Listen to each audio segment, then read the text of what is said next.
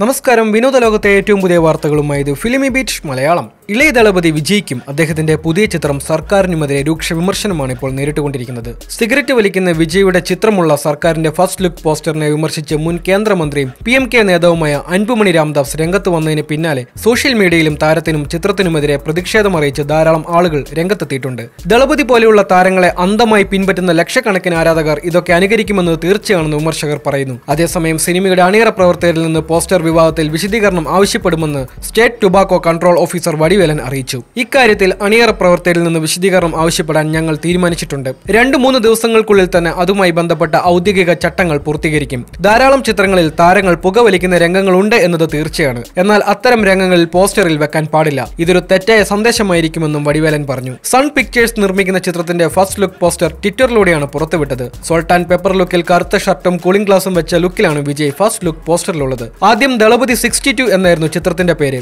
First look പോസ്റ്ററിന് ഔദ്യോഗികമായ നാമവും പുറത്തുവിടുകയായിരുന്നു. വിജയുടെ പിറന്നാൾ ദിനത്തോടനുബന്ധിച്ചാണ് ഫസ്റ്റ് ലുക്ക് പോസ്റ്റർ റിലീസ് ചെയ്തത്. എ ആർ റഹ്മാനാണ് ചിത്രത്തിന്റെ സംഗീത സംവിധായകൻ. ചിത്രത്തിലെ നായിക മറ്റ് താരങ്ങൾ തുടങ്ങിയ വിവരങ്ങളൊന്നും അണിയറ പ്രവർത്തകർ പുറത്തുവിട്ടിട്ടില്ല. ദീപാവലി റിലീസായിട്ടാണ് ചിത്രം തിയേറ്ററിലെത്തുക. ആരാധകർ ഏറ്റെടുത്ത തുപ്പാക്കിയും കത്തിയുമായിരുന്നു എ ആർ മുരുകദാസും വിജയും ഒരുമിച്ച മറ്റ് രണ്ട് ചിത്രങ്ങൾ. വിനോദ ലോകത്തെ ഏറ്റവും പുതിയ വാർത്തകളുമായി ഫിലിമി ബീറ്റ് മലയാളം.